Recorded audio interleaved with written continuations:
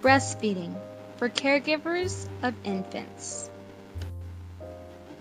Breast milk is the best food for babies. It is the only food a baby needs during the first four to six months of life, and it continues to be an important source of nutrients for the first year. Breast milk contains the right balance of nutrients to meet the baby's needs and changes over time. Breast milk is easy to digest and contains natural substances that help protect babies from infection and food allergies. Babies fed breast milk tend to have fewer illnesses.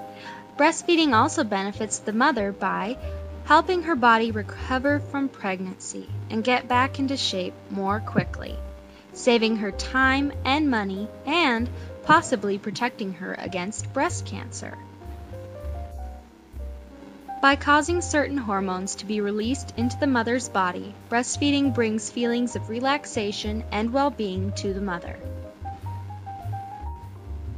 Breastfeeding also builds a special closeness between a mother and her baby. Supporting breastfeeding mothers.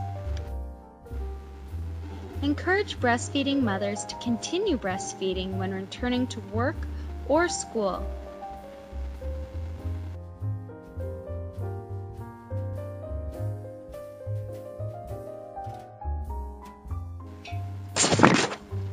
Babies in childcare who are breastfed may be breastfed by their mothers during visits to the facility bottle fed their mother's expressed breast milk by the caregiver, and or bottle fed the type of infant formula prescribed by the baby's doctor while at child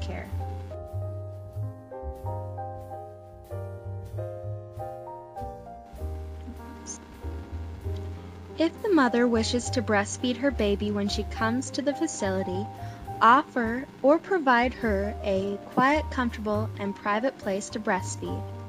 This will help her milk let down.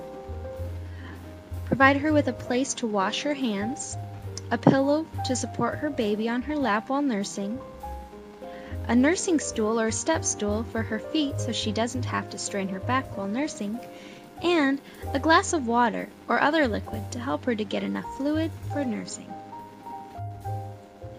Some parents may request that the caregiver continue feeding their babies breast milk after 12 months of age. Continue to serve babies their mother's milk as long as the mother is able and wishes to provide it. Mothers who wish to continue providing breast milk for their babies older than 12 months of age can do so without having to submit a medical statement. Breast milk is a substitute for cow's milk in the meal pattern for children.